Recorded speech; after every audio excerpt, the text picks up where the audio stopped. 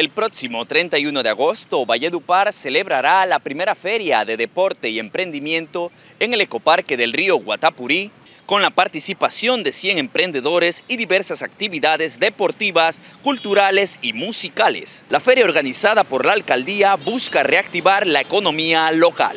Hola a todos, el Instituto de Deporte, Recreación y Actividad Física Inder Valledupar los invita este sábado 31 de agosto a la primera feria de deporte y emprendimiento que se llevará a cabo desde el Parque El Viajero hasta el Ecoparque del Río Guatapurí. Tendremos toda nuestra oferta institucional. Diferentes actividades como fuertemente activo, fútbol de banquitas, fútbol, tenis, baloncesto, voleibol, tenis de campo, patinaje, boxeo, taekwondo, atletismo, calistenia y fútbol playa, Valledupar. Seguimos trabajando por el deporte, la recreación y la actividad física. Te esperamos.